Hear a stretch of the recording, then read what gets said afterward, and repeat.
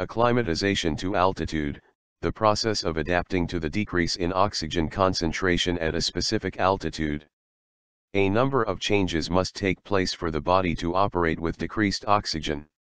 These changes include increasing the depth of respiration, increasing the pressure in the pulmonary arteries, forcing blood into portions of the lung that are normally not used at sea level, manufacturing additional oxygen-carrying red blood cells, and manufacturing EXTRA2, 4, DPG, a substance that facilitates the release of oxygen from hemoglobin to the body tissues.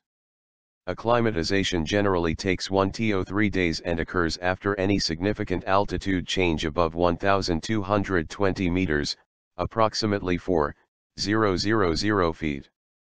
Acclimatization is the body's natural means of correcting altitude sickness and the rate of acclimatization depends on the altitude, rate of ascent, and individual susceptibility.